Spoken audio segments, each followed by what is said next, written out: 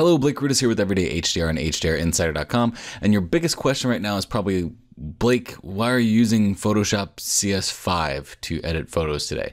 And in reality, I'm not using Photoshop CS5 to edit photos today. What I want to show you is uh, a little color theory course on how the interface that you choose in Photoshop could be affecting your images.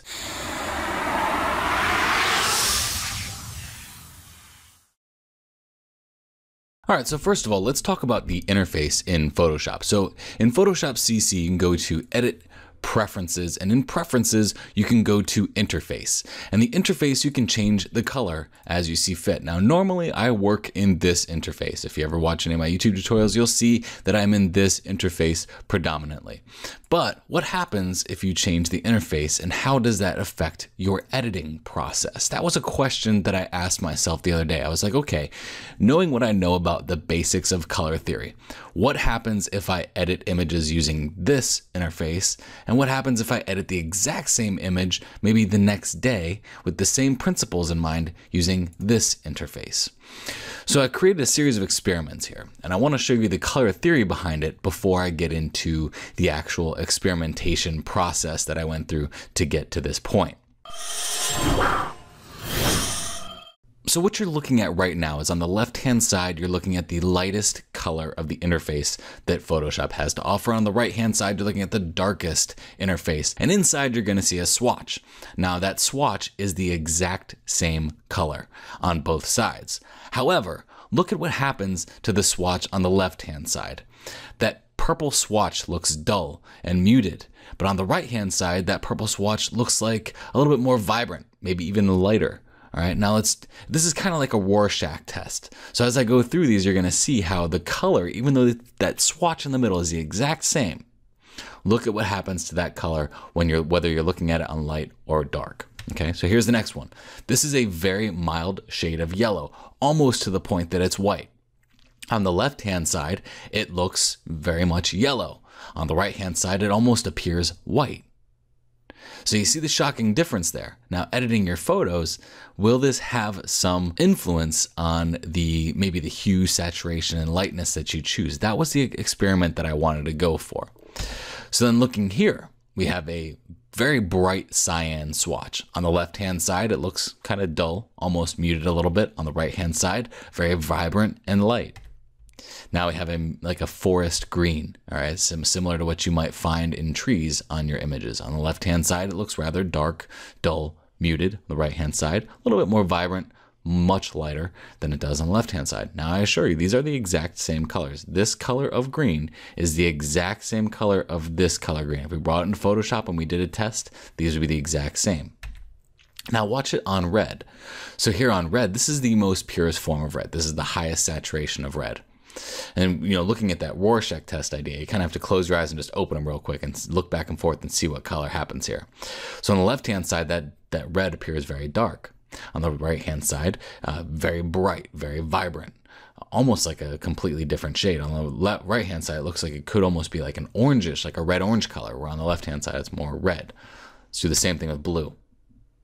Blue, very much the same thing. Right-hand side, very light looking very bright, very saturated. On the left hand side, a little less saturated, almost like it could use a little bit more saturation, even though that is the purest form of saturation there.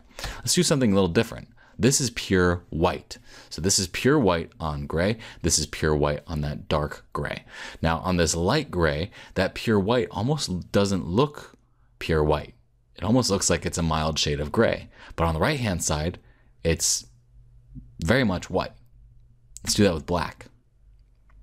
So this this is interesting because the black on the left hand side is very dark. It's almost a vibrant black, which is kind of opposite from all the other things that we discussed. And on the right hand side, you're going to see that that black almost appears gray, like a mild gray. So you see, these little nuances in color theory could play a major role in your editing process. So what I did was last night, uh, prior to closing down shop, I edited four different photographs on the light version of Photoshop. And then this morning, I chose the exact same editing process using the same editing elements, but did it on dark. So I wanted to give myself some time in between. I didn't want to just edit from one and then edit to the other one because what I really wanted was was that time uh, between each one. So the process was simple. Here's your photograph, whether it's an HDR image or not, that has been tone mapped in Photomatix. Only modify tone and color, and also color grading in the end. So the things I targeted first was tone with the curves, second was color with hue saturation, and the third was color grading. Here's an image of a one room schoolhouse that is actually in Kansas. Beautiful place to shoot the Tallgrass National Prairie. And this was on the light Photoshop interface. I edited the exact same image using the same principles on the dark version. Notice how my color changed dramatically, especially in the blues in the sky. Here it's a little bit more cyan, here it's a little bit darker. So my reds popped out a little bit more on dark. My reds are a little bit more muted on light. Look at the yellows in the uh, in the foliage. A little bit more vibrant on the dark, a little bit lighter on the light one. Let's move forward. So here's a waterfall. This is taken in Maine, uh, Cascade Falls in Maine. Beautiful place to shoot.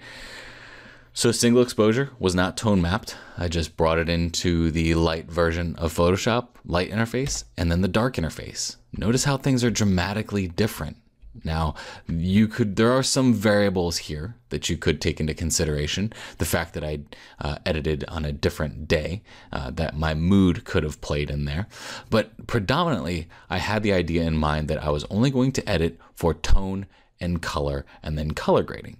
So with those principles in mind, with those uh, light and dark principles, you'll see even if we take this dark image and put it on the light interface, there's some editing there that I probably wouldn't have done, but it looks good on the dark one. We'll go into that in a second here after I go through the rest of these images. Cannon Beach, Oregon, Haystack Rock on light, on dark. Very different color choices happened here. So the saturation here is a little muted, and here it's a little bit more saturated. And the last one, I want to do an interior shot. This was also in the Tallgrass National Prairie in the barn. This is on light, this is on dark. This is on light. This is on dark.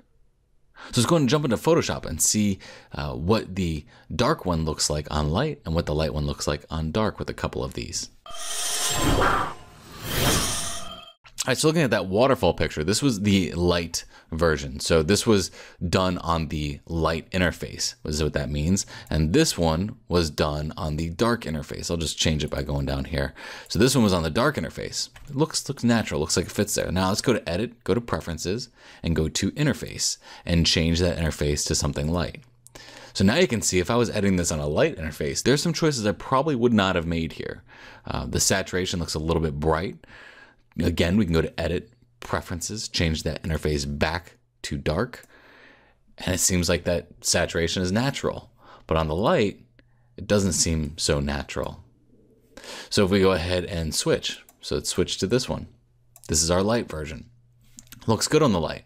Go to edit, go to preferences, interface, change it to black. Look at the differences there. It looks like the saturation needs to go up a little bit more. All right. Changing it back, saturation looks like it's all right.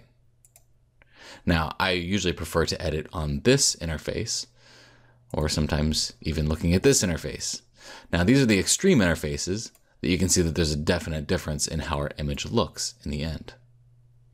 Let's go ahead and look at another example. So we've got that barn picture on the light interface, and we'll go into the interface options here and change this to the dark interface.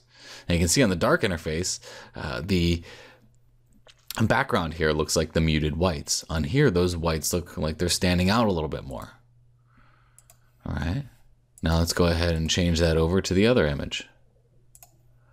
On dark. Now on dark, our lights look pretty light here. But if we go to that other preferences and go to our interface, change that to dark, looks like it should be there. You know, like the, the lights look good there. Like they aren't too light. Here they look like they might be a little too light. So really what I want to show you here is not necessarily that the interface that you're using might be a bad interface, but just consider that the interface that you're working on and how dark that this back interface might appear could be affecting your judgment on how saturated your colors look, which in turn will play out on how you print. So if you print, you say, This looks nothing like it does on my computer. Well, it might not be that your monitor isn't calibrated. It might be that what you're holding that print up against, if it's a white mat and you're working on what looks like a gray mat here or a dark gray mat here, that image is going to look different for you. So keep that stuff in consideration.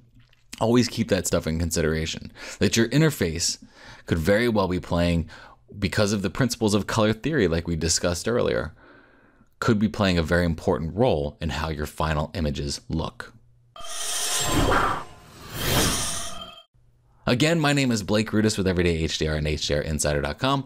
If you like this tutorial, please share it. Send it to somebody else that you might uh, have a battle with about color theory. And this, this actually came about because when I was looking at Photoshop CC and the ability to change all of the interfaces, I mentioned it in one of my What's New tutorials on Photoshop. And somebody um, made a really rude comment about something that I said about color theory.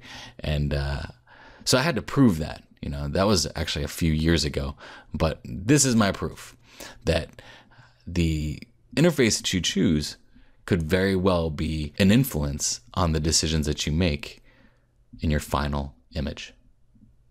Thank you very much for watching. I appreciate your time.